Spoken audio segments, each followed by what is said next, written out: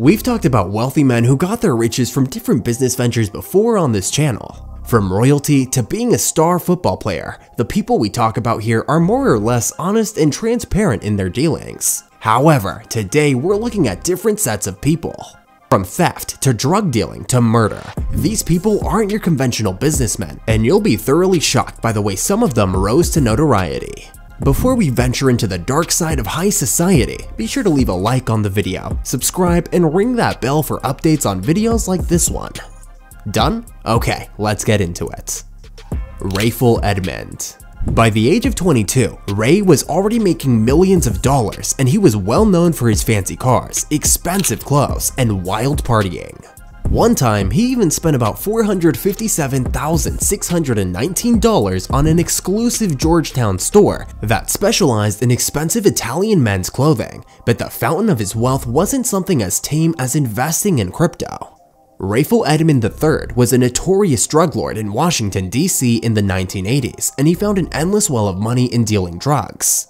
At one point, his estimated yearly revenue was $300 million. However, Ray didn't only spend his money on cars and parties, he had to put some of it back into the business in the form of, let's say, philanthropy. He gave district residents money for rent, medicine, and whatever else they needed, especially to the families that worked for him. These people were so grateful for his generosity that they became his loyal street enforcers, responsible for as many as 30 murders by the time he was arrested. By the time he was sentenced to life in prison without the possibility of parole, Ray was already worth a whopping 50 million.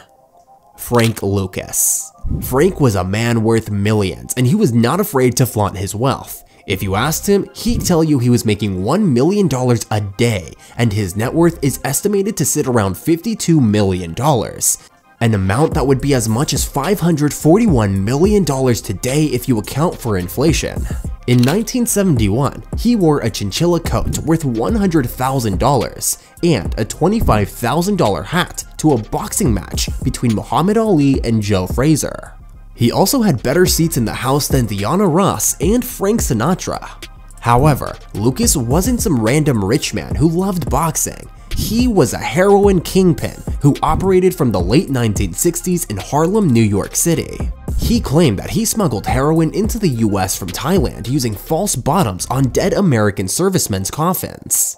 Frank flaunted his wealth despite all risks because, in his words, he couldn't have people who made less money than him walking around thinking they were kings of the world. Talk about a proud man. Big Meech. If you thought Frank Lucas was wealthy, well, Big Meech has a net worth of $100 million. That's a whole 48 million more than the drug lord. Demetrius Edward Big Meech Flenory was the founder of the Black Mafia family, a money laundering and drug trafficking front in the US, alongside his brother Terry Lee Southwest T. Flenory. He and his brother had about 500 people pushing cocaine for them and made more than $271 million in profits from the sale of drugs alone. To keep the law away, he created a front for his far less than legal business dealings. He established BMF Entertainment in the early 2000s and became the co-owner of Juice Magazine. Through these ventures, he was able to get acquainted with famous rappers like Diddy, Jay-Z, T.I., and Young Jeezy. Meech was so rich, and he spent his money partying hard with other rappers. To this day, BMF parties are still known as legendary.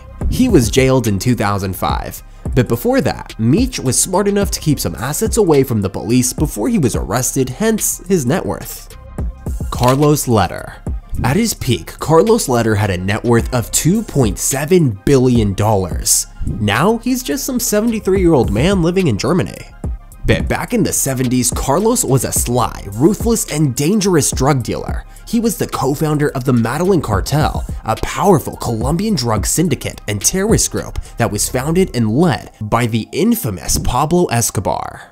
Carlos was rich, but he was no party animal. The bulk of his wealth went back into the business, and it was estimated that in 1978, he spent about $4.5 million on Norman's Cay a private island used for his drug smuggling. He succeeded in bribing authorities and successfully transported 300 kilograms of cocaine to the island daily.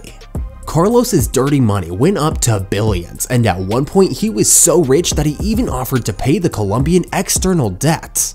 In fact, he easily offered to do so to the then Colombian president Alfonso Lopez Michelsen in exchange for a free, unregulated area for drug trafficking. Violent, proud, and extremely wealthy, that was Carlos Lehder.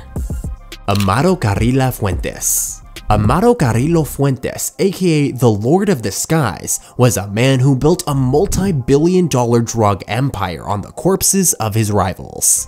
Seriously, once he could, Amado assassinated his own boss, Rafael Aguilar Guajardo, to seize control of the Juarez Cartel, a Mexican drug organization that was famous for mutilating corpses and dumping them in public places to instill fear into the public and local law enforcement and their rivals.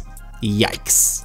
Throughout his career, it's estimated that he made over $25 billion. That's almost $40 billion by modern rates. His nickname came from the fact that he was the first drug lord to use private planes to transport cocaine worldwide. In this regard, he owned a large fleet, including 30 Boeing 727s.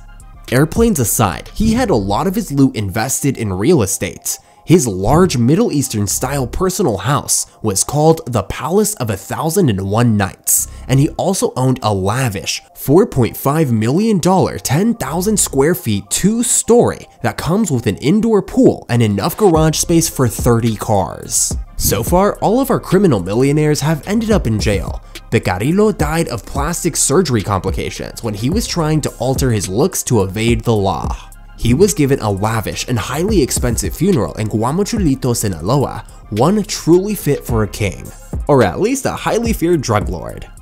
Leona Helmsley Leona, the Queen of Mean Helmsley, was a businesswoman who had a net worth of 4.8 to 5 billion dollars by the time she died. She had a reputation for being tyrannical and cruel towards her employees and family, but come on, we've covered bloodthirsty killers in this video. This is nothing compared to all that. Leona's crimes are also pretty tame compared to the drug lords we've covered. She was charged with federal income tax evasion, extortion, and a host of other income-related crimes in 1988. Before that, Leona was a champion real estate mogul. She and her husband built an empire procuring a lot of property in New York, including the Empire State Building. They also owned Park Lane Hotel and several other hotels in Florida and other states. Leona Helmsley was so rich by the time she died in 2007 that she was able to leave $12 million to her precious dog, Trouble. A judge eventually cut the dog's inheritance to just $2 million, but that's certainly only what a truly rich tyrant would give to their pet. El Chapo Joaquin Archivaldo Guzman Loera, also known as El Chapo or El Rapido, was the head of the Sinaloa drug cartel. It was one of the most powerful criminal organizations in Mexico. His drug trades didn't stop at the United States, but almost all major countries in the world he amassed a fortune of almost $13 billion. He lived a luxurious life till his incarceration. He made so much money selling drugs that he once owned a pair of yachts, a fleet of Learjets, and a private zoo with tigers, crocodiles, and panthers. He's currently serving life in prison without the possibility of parole plus 30 years, and he forfeited assets worth more than $12.6 billion. Pablo Escobar. You've probably heard this name before. In fact, you heard it earlier in this video. And that's because mentioning famous drug lords without mentioning the king of cocaine himself is a crime on its own. Pablo Escobar is not only the richest narco, but he was also the wealthiest criminal in history. His cartel led the Medellin cartel, and weekly, he made about $420 million and up to $22 billion a year. He was so staggeringly rich that he made the Forbes list of international billionaires from 1987 until 1993. He spent $2,500 on rubber bands each month to keep his stack of money neat. Once, his daughter was cold when he was at a hideout with his family, and he set $2 million on fire just to keep her warm. If you think all that is crazy, Pablo Escobar is the same man that chalked in a $2.1 billion loss in his business profits each month. And the amount didn't bother him because, with all the money he had, what was a measly $2.1 billion? He pulled in so much money that he was listed as the seventh richest man in the world in 1989. By the time of his death, he had a huge estimated net worth of $30 billion, the equivalent of $70 billion today. His money didn't only go into pimping drugs and causing mayhem, however. He was known for giving large sums of money to the poor and building houses for the homeless along with community soccer fields. His generosity was very much appreciated by those he helped and he earned the nickname Robin Hood because of it. Griselda Blanco for the third time, the Medellin cartel has shown up on our list, and for the first time, they're showing us that what a man can do, a woman can do just as well. Griselda Blanco distributed drugs for the Medellin cartel back in the 70s and 80s. At the peak of her career, worth an astounding $2.26 billion. Griselda Blanco is known as the richest female cartel leader, and she didn't get that title by just moving drugs. Her violence and cunning made her famous and propelled her in the industry. She reportedly smuggled more than 3 tons of cocaine into the United States annually, bagging about $80 million per month for the cartel. She was called the godmother of cocaine, La Madrina, the Black Widow, because all three of her husbands wound up dead. She was also one of the most bloodthirsty crime bosses of all time, and was allegedly responsible for the murders of at least 200 men, women, and children.